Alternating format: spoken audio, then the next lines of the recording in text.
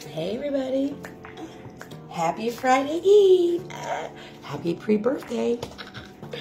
Give a shout out to all my special Scorpio, November Scorpios. Hope everybody's doing well. Hope you're having a great week. You know, what do we need to surrender to? Well, we just picked that. No. Yeah, stubbornness. Surrender to stubbornness. Did we just get that? Hey, let me just go ahead and. We just got that yesterday. Let's get a good shot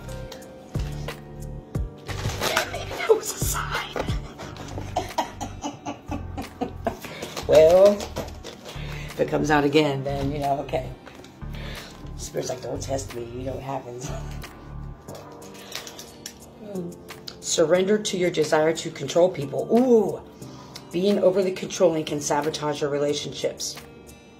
To more effectively achieve your goals, back off, regroup, and give the situation some breathing room. This may be some of you, but you know what?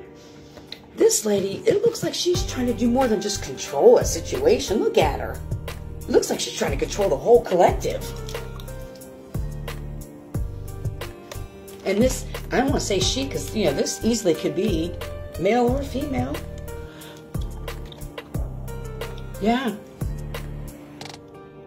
It's a female. She may have some, you know, uh, more masculine um, features, stereotypical features, okay? So.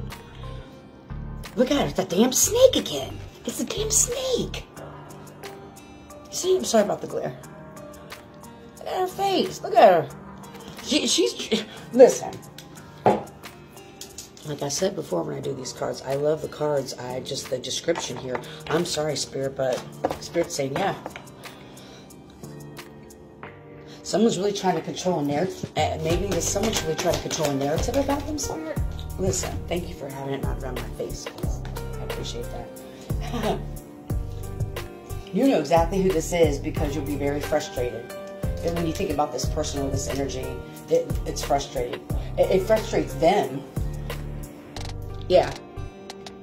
Yeah, the narrative that they've been spinning around you is, is spinning about the narrative they've been spinning about you is starting to crumble possibly. Surrender to frustration. Frustration doesn't open any doors. The key to resolving any dilemmas or solving a block is to take a breath, yep, center yourself and regroup. You may approach the situation more calmly. Yeah. Maybe that's what this person needs to do. I just see a lot of projection from this this person, trying to control situations and the outcome of things. And I just see someone who's just like, yeah, you know what, Spirit, Spirit, can we get that energy?